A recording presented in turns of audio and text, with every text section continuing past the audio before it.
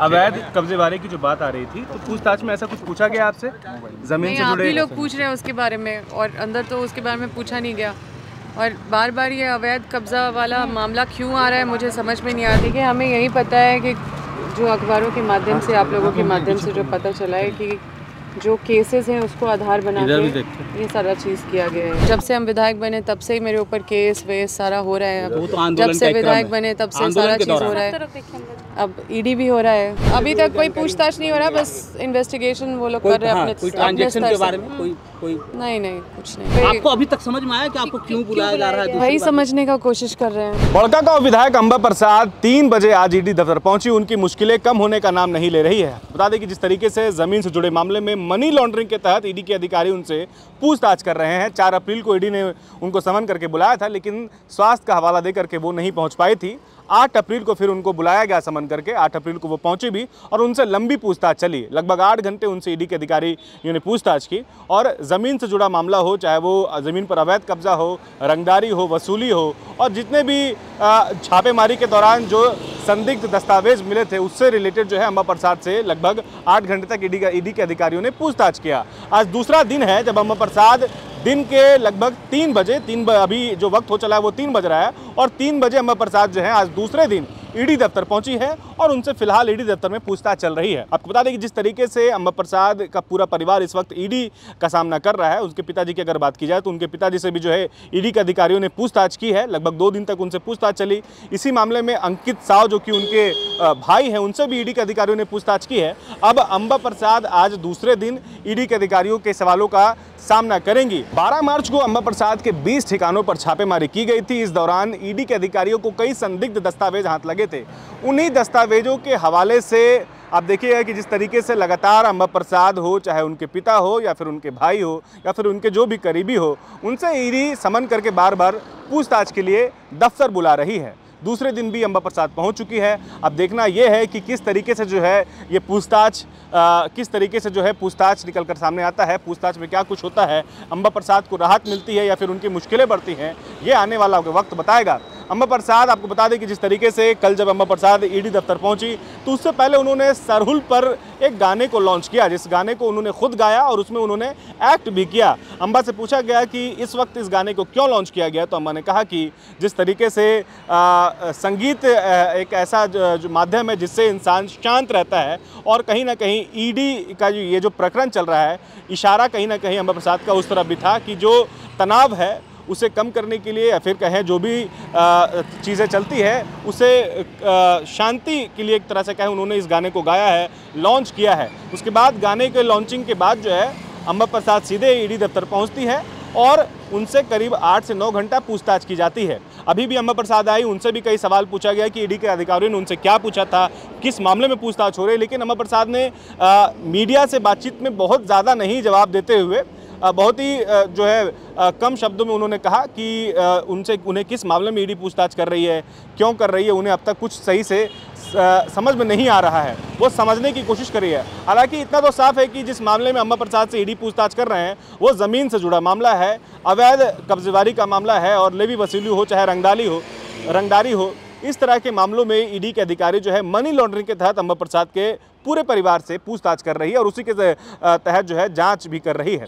फ़िलहाल अब देखना यह है कि पूछताछ के बाद जो है अम्बा प्रसाद को राहत मिलती है या फिर अम्बा प्रसाद की मुश्किलें बढ़ती है, ये पूछताछ के बाद ही पता चलेगा। बुलाया गया है तो फिर आए हैं और जब बुलाया जाएगा तब आएँगे। क्षेत्र में कार्यक्रम कुछ अटेंड कर पाए इसलिए क्षेत्र चले गए थे इस वजह से थोड़ा विलम्ब हो गया। क्या कल तो पूछताछ में आप ईडी अधिकारी संतुष्ट नहीं हुए क्या? देखिए वन बाय वन हर चीज़ों को निकाल निकाल के इन्वेस्टिगेट किया जा रहा है। तो वो अपने हिसाब से बुला रहे हैं। अच्छा अच्छा जी कल आपने ज़िक्र किया था कि आप कुछ खास वजह से क्या पूछताछ? नहीं कुछ खास हमको अभी तक वजह नहीं बताया अच्छा अम्बा जी कल आपने ज़िक्र किया था कि आपको नहीं पता कि ईडी की ओर से समन क्यों जारी किया गया क्यों मुझे बुलाया गया? कल आपको पता चला जब पूछताछ हुई। देखिए हमें यही पता है कि जो अखबारों के माध्यम से आप लोगों के माध्यम से जो पता चला है कि जो केसेस हैं उसको आधार बना के ये सारा चीज़ किया गया है। तो अभी तक तो उसके आगे कुछ पता नहीं क्या पॉलिटिकल केस अभी तक तो ताज़ा जुड़े हुए हैं। कुछ ताज़ा कोई केस तो हुआ नहीं है परिवार में किसी के कोई ऊपर। डिवाइस वाइस की भी जाँच हो रही है? जो मोबाइल वो सब तो सारा ले ही गए हैं तो उस पर तो करेंगे। कुछ मोबाइल से रिलेटेड क्या कुछ डॉक्यूमेंट मांगा गया है क्या मोबाइल से रिलेटेड कोई पूछताछ कुछ डॉक्यूमेंट मांगा गया है? आज नहीं। खाली। अम्बा अम्बा जी अम्बा जी शशि भूषण सिंह के बारे में भी आपसे कुछ पूछताछ की गई है? नहीं अभी तक तो नहीं की गई है। अभी तक नहीं की गई है। अवैध कब्जे बारे की जो बात आ रही थी तो पूछताछ में ऐसा कुछ पूछा गया आपसे? ज़मीन से आप जुड़े ही लोग पूछ रहे हैं उसके बारे में और अंदर तो उसके बारे में पूछा नहीं गया। और बार बार ये अवैध कब्जा वाला मामला क्यों आ रहा है मुझे समझ में नहीं आ रहा जबकि आप लोगों को बार बार हमने बोला है कि किसी का अगर पैरवी किया ज़मीन विवाद तो बहुत आम बात है वो बहुत जगह ज़मीन विवाद होता है। अगर एक मोहल्ले का ज़मीन का विवाद निकाल के देखा जाए तो हमको लगता है हर विवाद में फिर घुस के और उसको देखना चाहिए कि कौन किसका विवाद है, किस तरफ़ है, क्या है। तो ये सारा आधिकारिक रूप से जो अधिकारी हैं, वो ऑथेंटिक होते हैं जाँच करने के लिए। हम लोग अपना, हमारा कोई इंटरेस्ट कभी भी किसी ज़मीन पे नहीं रहा। हम भले किसी व्यक्ति कोई आते हैं कि हमारा ज़मीन विवाद है और जीएम लैंड का या फिर मुझे लगता है कि जिस ज़मीन विवाद का बात कर रहे हैं आप लोग, वो जीएम लैंड है अ, सरकारी ज़मीन है। तो सरकारी ज़मीन को कोई कैसे ले सकता है? और अगला पक्ष का कहना है कि वो लीज़ में वो लिया है। तो ये तो अधिकारी का काम है ये सब करना। इसमें ज़मीन विवाद में हम लोग कहाँ से हैं? ये तो बहुत ही साफ़ सुथरा बात है। इसमें आप लोगों की पुरानी जो पुश्तैनी ज़मीन है उसके मैं बारे में मैं तो। ये कह रही हूँ कि कौन है विक्टिम? विक्टिम का नाम बताइए।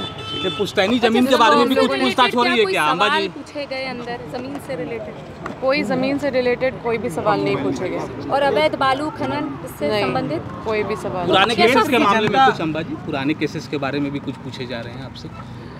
अभी तक तो इस तरह का कोई सवाल नहीं आया क्योंकि पुराने केसेस में बहुत पुराने नहीं है। जब से हम विधायक बने तब से ही मेरे ऊपर केस वेस सारा हो रहा है। वो तो जब से विधायक बने तब से सारा चीज़ हो रहा है।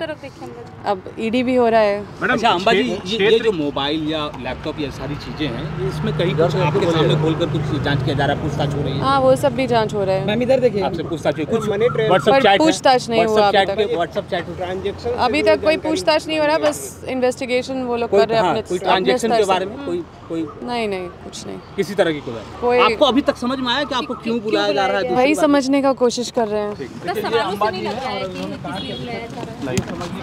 क्या उससे नहीं पता चल रहा है कि क्यों नहीं है? कुछ कुछ भरने बोल रहे हैं तो वो भर रहे हैं। कुछ डिटेल्स भरने बोल रहे हैं वो भर रहे हैं। तो जो भी चीज़ पूछ रहे हैं वो बता रहे हैं। अभी तक तो नहीं पता चल। रहा है क्षेत्र की जनता क्या को क्या ऐसे समय में बोलना चाहेंगे? उनसे क्या कहना चाहेंगे? देखिए? आज नवरात्रा शुरू हुआ है और क्षेत्र से ही बहुत सारा कलश यात्रा अटेंड करके आए हैं। और दो बजे का समय मिला था और लेट भी हो गए तो क्षेत्र की जनता का बहुत प्यार और आशीर्वाद मेरे साथ है और उस इतनी बड़ी ताकत मेरे साथ है तो हम समझते हैं कि इसमें घबराने की तो कोई ज़रूरत ही नहीं है। और हमने हमेशा सेवा भाव से एक एक व्यक्ति का काम किया है बहुत प्रेम से बहुत स्नेह से लोगों का बात सुना है। और बाकी सबसे सुप्रीम पावर तो ऊपर वा, वाले भगवान हैं। उनसे सुप्रीम कोई नहीं होते और उन पे मेरा पूरा आस्था है। अच्छा दूसरे दिन बुलाना क्या आपको लगता है कि संतुष्ट नहीं हो पाए ईडी के अधिकारी आपके सवालों सब जवाबों से? देखिए वो तो आप उनसे पूछे कि क्या संतुष्ट नहीं हो पाए क्या है क्या बायोम मेडिकल प्रिपरेशन का एकमात्र संस्थान जहाँ है complete digital classrooms, individual doubt counters, video lectures, student tracking system, library facility, 100% result oriented rankers batch, study package and class notes in PDF Jharkhand के इतिहास में पहली बार, नीट यूजी में 700 मार्क्स पार टेंथ पास स्टूडेंट्स के लिए foundation course और 11th पास स्टूडेंट के लिए fresher course twelfth pass students के लिए टारगेट कोर्स 18 अप्रैल से शुरू हो रहे हैं. Contact biome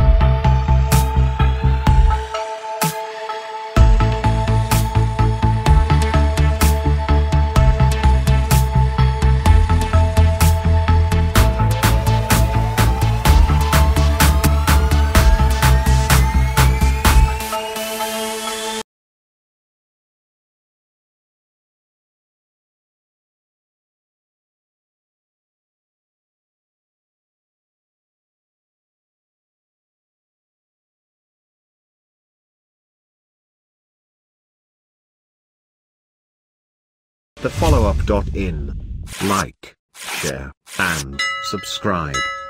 www.thefollowup.in